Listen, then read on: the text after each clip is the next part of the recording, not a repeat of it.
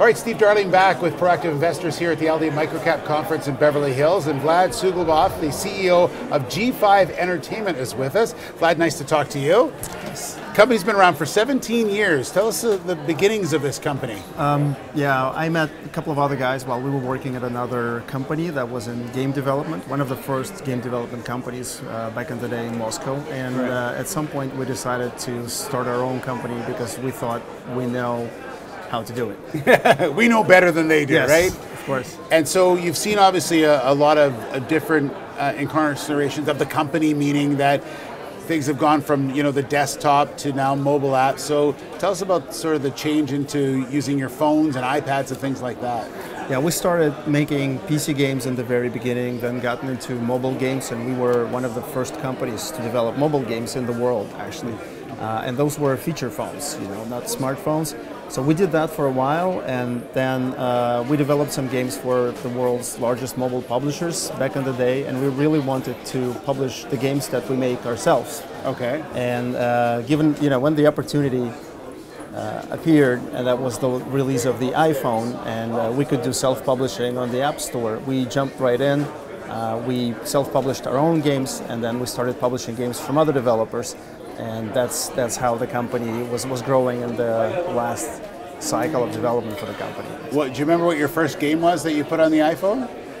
The first game on the iPhone was called Supermarket Mania. Okay. It's a time management game where you run a grocery store. Oh, neat. Yeah. So you you you've got a lot of different games now. Uh, you said you're into puzzles, like that kind of sort of sort of games that you can just sit and relax and enjoy playing. Exactly. Our audience likes to play games that are not stressful. They're, you know, they're not looking for thrills, but they're looking for a relaxation and some rest, I guess, after a busy day. Sure. Uh, so they like mahjong solitaire games, hidden object games, and hidden object is a, the largest part of our uh, portfolio by revenue. Okay. Um, also match three games, and um, these are the games that you can sit back, relax, enjoy the atmosphere of the game, solve some puzzles, challenge yourself a little bit, but also explore the world. Um, it's almost like reading a book. You meet characters, you learn certain things about the world that you are in. Right. Uh, and I think this is what what is appealing to our audience, uh, who are, uh, by the way,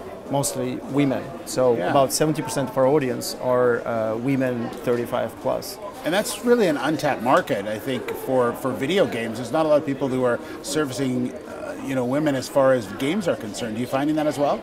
I think that it's certainly an underserved segment. Yeah. Uh, a lot of people get into games because they want to make games for, for themselves, Yeah. and they would be making games for younger males. Um, and um, we just kind of stumbled onto this segment because we've gotten into hidden object games, and then we discovered who the uh, the audiences, uh, and then we learn to appreciate how loyal they are, and that they, uh, you know, they're not likely to try to find another game or circumvent monetization. They're they're loyal and paying customers, and we decided that we're just going to focus on this segment and uh, continue making games for them. And how's your market share? So we have about 50% of the worldwide market for hidden object games on, Wow. on mobile, iOS and Android. Yeah, so it's, it's Yeah, we're the largest publisher. We have the largest hidden object game by revenue as well. Right.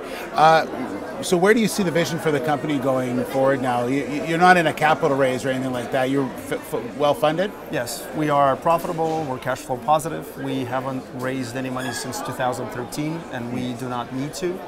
Um, so our goals uh, basically to continue dominating the markets where we are large already. That would be hidden object games, Right. but also Mahjong solitaire games where we have a game number three by revenue in the world. Uh, we also want to get into kind of what we call adjacent genres, Okay. genres that are also appealing to the same audience that we have, but that present substantial growth opportunity. And one such genre would be a match three uh, puzzle genre. So that's a really large market, about one and a half billion dollars in gross revenue per quarter. Wow. So if we are successful getting there and just getting just a few percentage points of that market, that can have a tremendous impact on the company. But are, is it? How do you come up with the games? Like how do how do you be the next great game? Is it just something you think up? Is your team? Is it something someone brings to you, or is it a combination of everything? It's a combination of everything. You look at the market. You're, you're obviously we're all playing these games. We're trying to understand what's there. We're trying Yeah. to understand what kind of game we'd like to see, but we can't find it on the App Store. Um, we're also soliciting, you know, opinions and thoughts from the kind of extended team of, of the company, and uh, we have about 100 people, kind of the core development uh, capacity, the, the project teams in the company, and they're all, they're all free to contribute their ideas. And then there's uh, kind of a committee that looks at all of that and tries to, you know, find a combination, the idea of the game that they think have a potential, and then we treat the portfolio of games you know, it's, it's almost like managing uh, investments. Yes. So you have these ideas, you don't know their potential, but you try to place your bets wisely, and then you take care of every game. You know, try to maximize its potential, and you never never know which one is going to become a hit, uh, which one is going to flop in the end. But if you do it over and over again, you kind of gain expertise, and then hopefully you're you're right more often than you're wrong, and then you have a business. So you're the CEO. So obviously it takes a lot of time to be the CEO. Do you do you still have time to program yourself? Do you? No, I Yeah. stopped. I Do you stopped miss that? programming in 2003. Yeah. Uh, I, I I remember the the feeling of satisfaction from implementing a great algorithm, coming up with the beautiful structure, Yeah. implementing it, and, and seeing that work. And uh, I try to find that in, in managing the company. You know, you can you can do this uh, within the company. It's like it's it's a bit a bit It's a like game programming. itself, You're right? programming people, right? Yeah, I get it. or rather processes and uh, the, the company to work in a specific way. I think of the company in terms of the processes. So whenever we do something, I try to get away from the project mentality. I like to set up the company as a set of cyclical processes that we can repeat and improve over time. Very cool. Very cool. Well, great to meet you. A lot of fun. Enjoyed that. Thank you. Thank you. Again, uh, Vlad, thank you very much. The CEO of G5 Entertainment.